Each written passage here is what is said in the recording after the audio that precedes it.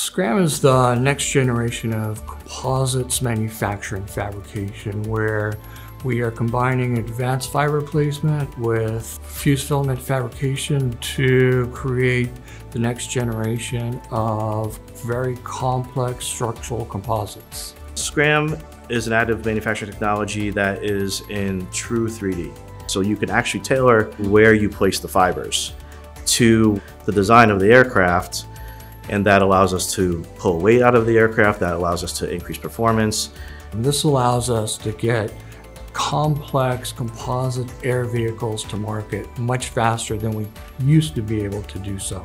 And Digital Pathfinder is a great example of that, where we made the wingtips in a method of manufacture that no one's ever done before. No one's ever made wingtips the way we did on Scram. It's a perfect example of how we are giving our designers and our programs discriminating capabilities.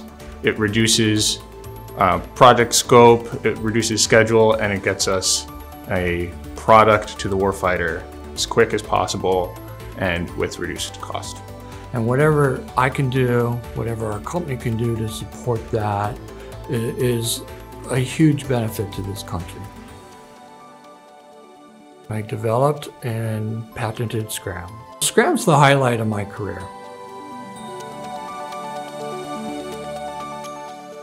What was the ultimate feeling that you had once it's working and it's helping? Huh, I was right. No.